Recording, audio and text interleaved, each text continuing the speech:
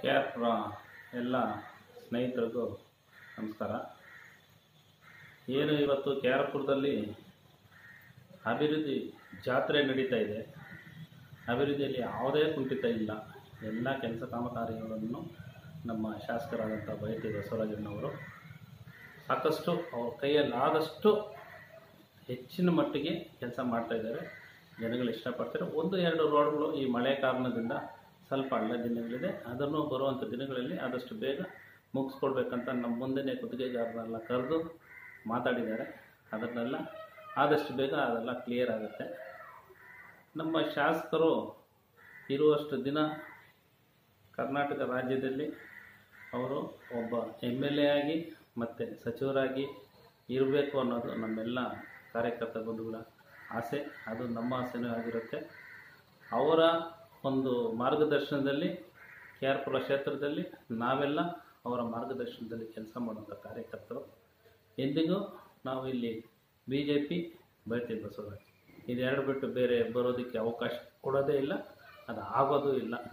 ಯಾರು ಕನಸ್ಕೊಂಡ್ರೂ ಅದು ನೆನಸಾಗೋಕ್ಕೆ ಸಾಧ್ಯವಿಲ್ಲ. ಕನಸಾಗೆ ಹೋಗುತ್ತೆ. ಬೈತಿ ಬಸವರಾಜ್ ಇರೋ ತನಕ ಬೈತಿ ಬಸವರಾಜೇ ಇಲ್ಲಿ. ಅವ್ರ ಹಿಂಬ, ಅವ್ರ ನಾವು ಎಲ್ಲರೂ ಅವರ ಮಾರ್ಗದರ್ಶನದಲ್ಲಿ ಕೆಲಸ ಮಾಡೋಕ್ಕೆ ಸಿದ್ಧವಾಗಿದ್ದೀವಿ. ಮುಂದೆ ಬಿ ಬಿ ಎಂ ಬಿ ಚುನಾವಣೆ ಬರ್ತಾ ಇದೆ. ಈ ಸಂದರ್ಭದಲ್ಲಿ ನೀವು ಕಾರ್ಯಕರ್ತರಿಗೆ ಮುಖಂಡರಿಗೆ ಏನೇನು ಇಚ್ಛಾ ಪಡ್ತೀರಿ ಬಿ ಬಿ ಎಂ ಪಿ ಚುನಾವಣೆ ಬರ್ತಾ ಇದೆ. ಅದಕ್ಕೆ ನಾಯಕರಂತ ಒಬ್ಬರು ಇದ್ದಾರೆ. ಆ ನಾಯಕರು ನಮ್ಗೆ ಏನು ಸೂಚನೆ ಕೊಡ್ತಾರೆ ಏನು ಆದೇಶ ಮಾಡ್ತಾರೆ ಅದನ್ನು ಪರಿಗಣಿಸಿ ನಾವು ಆ ಕೆಲಸ ಅವ್ರು ಕೊಟ್ಟಿದ್ದ ಕೆಲಸನ ಪೂರ್ಣ ಮಾಡಿ ಅವರಿಗೆ ಈ ಕೆ ಕೆ ಆರ್ ಕ್ಷೇತ್ರದಲ್ಲಿ ಹದಿಮೂರು ಹನ್ನೊಂದು ವಾರ್ಡ್ಗಳಾಗಿದೆ. ಹನ್ನೊಂದು ವಾರ್ಡ್ಗಳಲ್ಲಿ ಹನ್ನೊಂದಕ್ಕೆ ಹನ್ನೊಂದನ್ನು ಬಿ ಜೆ ಪಿ ಗೆದ್ದು ಬಸವರಾಜ್ ಅವರಿಗೆ ಒಳ್ಳೆಯ ಹೆಸರು ತರಬೇಕು ಅನ್ನೋದು ನಮ್ಮ ಆಸೆ.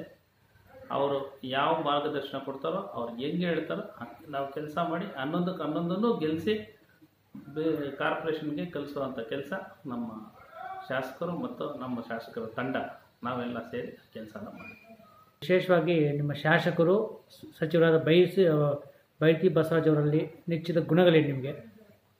ನಮ್ಮ ಶಾಸಕರು ಅವರಲ್ಲಿ ಮೆಚ್ಚಿದ ಗುಣಗಳು ಏನಂತಂದರೆ ಪಂಚಾಯಿತಿಯಿಂದ ಹಿಡಿದು ಸಿ ಎಂ ಸಿಯಿಂದ ಹಿಡಿದು ಬಿ ಬಿ ಎಂ ಪಿಯಿಂದ ಹಿಡಿದು ವಿಧಾನಸಭೆ ತನಕ ಹೋಗಿ ಸಚಿವರೂ ಆಗಿದ್ದಾರೆ.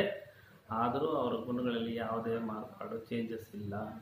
ಅವರು ಆವಾಗ ಹೆಂಗಿದ್ರು ಅದೇ ಥರ ಇದ್ದಾರೆ ಇನ್ನೊಂದು ಹೆಚ್ಚಿಗೆ ಹೇಳಬೇಕಂದ್ರೆ, ನಾವೆಲ್ಲ ಕರ್ಣನ್ನ ನೋಡಿಲ್ಲ. ಇತಿಹಾಸ ಪುಟಗಳಲ್ಲಿ ನೋಡಿದ್ವಿ, ಸಿನಿಮಾದಲ್ಲಿ ನೋಡಿದ್ವಿ.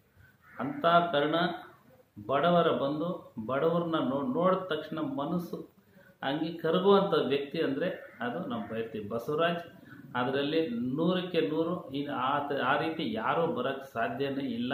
ನಮ್ಮ ಕ್ಷೇತ್ರದಲ್ಲಿ ಬಡವರ ಬಂದು ಬಡವರ ರಕ್ಷಕ ದೀನದಲಿತರ ರಕ್ಷಕರು ಅಂತ ಅಂತಂದರೆ ಬಸವರಾಜಣ್ಣ ಬಸವರಾಜಣ್ಣವ್ರು ಅನ್ನೋದು ನೂರಕ್ಕೆ ನೂರು ಸತ್ಯ. ಇದೇ ಅವ್ರಲ್ಲಿ ಅವರಲ್ಲಿ ಇರುವಂಥ ಒಂದು ಅಂಶವಾದ ಗುಣ.